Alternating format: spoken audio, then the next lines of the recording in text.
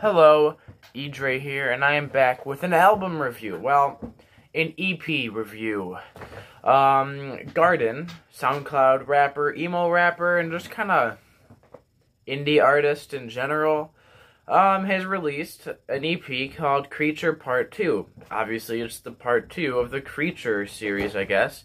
Part 1, which came out last year.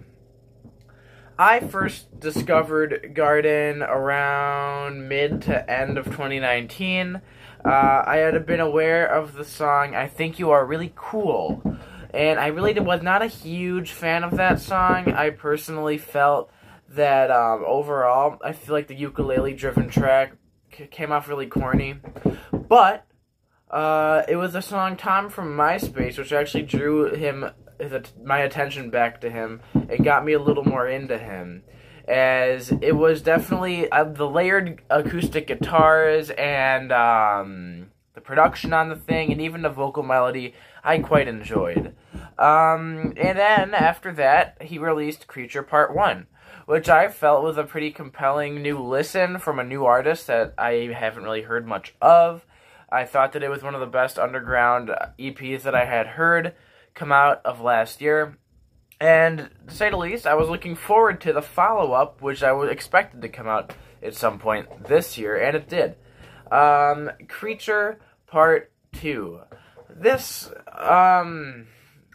See, one of the things I liked about Guardin's music up to this point was the emo aspect of it. I really did like the way he incorporated traditional emo elements into this. And um, I know this is nothing new. I mean, artists like Lil Peep have been doing it, or had been doing it prior. XXXTentacion, Juice WRLD, a lot of big name artists had done this before. But the way that Guardin did it had a different sound, and I wasn't sure if I enjoyed it 100% or not. Um, there's a lot of emphasis on the singing the very emo traditional singing style. That's heavily seen in almost all of his music, and the same trend continues onto this EP. Um, you see, I I feel conflicted about it because there are songs in which it fits and songs in which it doesn't fit. And uh, unfortunately, on this one, I feel like there's more songs in which it doesn't fit. Um, but overall, I think that he ended up following it up with a decent he followed up part one with a decent EP. I mean, the song starts up with a backup, which I I wish went somewhere more than it did. It's very just basic acoustic song, and um, it doesn't really go past that. And um, I find that his uh, his little vocal things that he does all over this thing are a lot more noticeable and a lot more um, kind of overdone when all you have is a little guitar behind you. It's a lot more noticeable and takes away from the song. And Alive, I just kind of feel follows a similar issue. Well, it isn't as bare bones as Backup. I think that the songs, you know, sometimes the singing just takes away from the song a little bit. Um, but the th- song, one of the songs that really stood out to me as being really good was "Don't Fall Asleep." It's very much, it's a lot more emotion in the song. It's a lot has a lot more elements of the kind of um, punk side of Guardin, which I don't see as much. And I know that there's a feature on here, but I don't know who it is, so I don't want to jump on the board. And I don't even want to make a fool of myself guessing. But I do gotta say though, the feature here, and as well as Guardin, definitely do put their all to this song, and I think this ended up shining above some of the rest of the songs on here. But the next two songs, again in Stupid, I really enjoy how the little uh, guitars kind of drive the song, even if it does have a beat. Okay, I'm sorry for the banging. There is somebody right above my room working on the roofing on my house. So, either way, Guardin. These kind of songs are really nice. I really like the way Again and Stupid really feel. It gives me a lot of the vibes that I got from Lil Peep on the Live Forever mixtape and um, I kind of appreciate the way that Guardin does kind of follow Lil Peep's footsteps while maintaining his own unique sound, and that's and he does that really good on Again and Stupid. The final track, Stolen, I think isn't uh, isn't a crazy track, and I feel like is just kind of like meh. Um, you know, it's one of those songs where it's like I feel like I should like it, considering I like some of the other songs on this thing. But you know, the beginning throws me off, and the song, much like some of the other ones, doesn't go as far as I wish it would.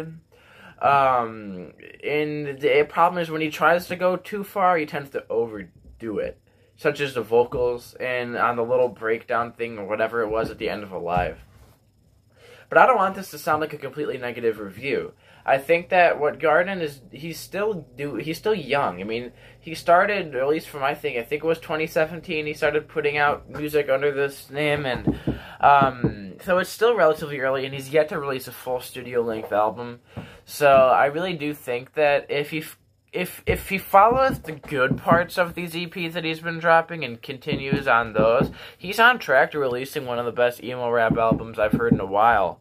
But you know, it's hard to say because a lot of these artists don't um, end up moving past this, and that's hard. And the thing that makes me a little nervous is, you know, without Juice WRLD, without X, without Lil Peep leading the with the way and it for artists to kind of um, do this kind of stuff.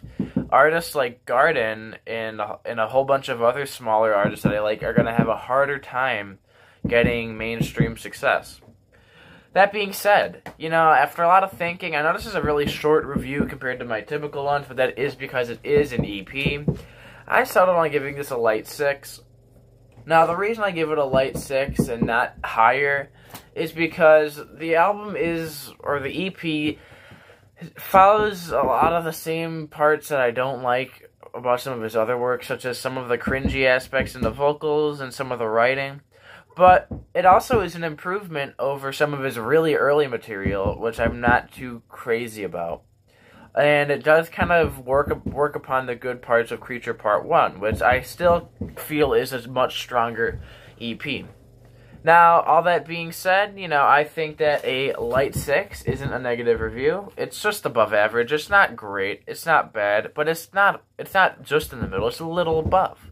So all that being said, um, you know, comment what you guys think below. I know this isn't too this isn't too popular of an EP. He's not too popular of an artist yet, so a lot of you may not know of him that well. But, you know, give him a listen. He deserves it. He's definitely put his all into this. And there's definitely some songs, such as Don't Fall Asleep, again, and Stupid, that are definitely, that might make my year-end list of my favorite songs. These are good songs, decent project. I hope for a good, full-length album someday. I really do.